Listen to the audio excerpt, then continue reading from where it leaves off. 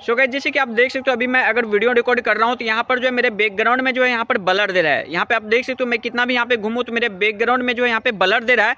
लेकिन गैज ये जो है, ये बहुत ही सस्ती फ़ोन आपको मिल जाएगा। आपको पता होगा कि एंड्रॉइड ऐसा कोई भी फ़ोन अभी तक नहीं निकला है, जिसका भी यहाँ पर बैकग्राउंड में बलर दे रहा है। लेकिन गैज ये जो फ़ोन मैं लिया हूँ, यहाँ पे बहुत ही कम रुपए में ये फ़ोन मिल गया है। और आपको जो यहाँ पे बैकग्राउंड में बलर देता है, अगर आप वीडियो सब बनाने का वर्क करते हो तो दोस्तों, ये बहुत ही अच्छा है, एक बलर कैमरा के लिए। तो आपको पता होगा कि अभी जो है आईफोन में ही हम लोग को वीडियो में बैकग्राउंड देखने को मिलता है। लेकिन दोस्तों, इस फ़ोन में जो है आपको वीडियो में बैकग्राउंड मिलता है। तो दोस्तों, इस फ़ोन का जो नाम है, वो है इन्फिनिक्स ज़ीरो ट्वेंटी जो कि दोस्तों आपको सत्रह हज़ार के अंदर में आ जाता है और आपको एक वीडियो बनाने के लिए बहुत ही अच्छे यहाँ पे क्वालिटी का कैमरा देता है। यहाँ पे आप देख सकते हो, जो कि सिक्सटी मेगा पिक्सलेस पे फ्रंट कैमरा है, जो कि साठ मेगा पिक्सलेस यहाँ पे दिया हुआ है ओ कैमरा उसके बाद दोस्तों, यहाँ पे बैक कैमरा की अगर बात करूँ तो यहाँ पे एक सौ आठ मेगा यहाँ पे बैक कैमरा देता है। तो दोस्तों, इसका जो मतलब बैकग्राउंड जो बलड है ये सबसे बेस्ट लगा हमको, बहुत ही अच्छा फ़ोन है ये।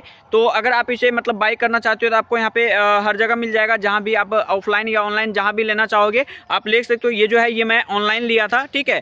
मुझे यहाँ पे सत्रह हज़ार पर आता है तो दोस्तों यहाँ पर जो है बैकग्राउंड में बलर देता है, ये बहुत ही अच्छा देता है। दोस्तों, मैं यूट्यूब पर वीडियो बनाने का वर्क करता हूँ।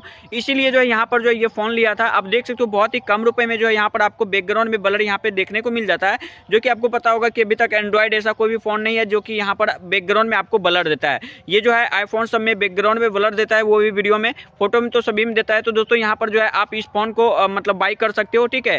तो दोस्तों, और जो है, इसके सारे मतलब जितने भी बैटरी वगैरह है, सारे कुछ इसके मतलब बहुत ही अच्छे हैं। ये इस फ़ोन का नाम है इन्फिनिक्स ज़ीरो ट्वेंटी ठीक है? इन्फिनिक्स ज़ीरो ट्वेंटी तो आप इसे मतलब ले सकते हो। आपको डिस्क्रिप्शन में लिंक मिल जाएगा, आप वहाँ से भी इसे देख सकते हो। तो चलिए, अगर आपको ये फ़ोन अच्छा लगा तो आप मुझे कमेंट में ज़रूर बताना।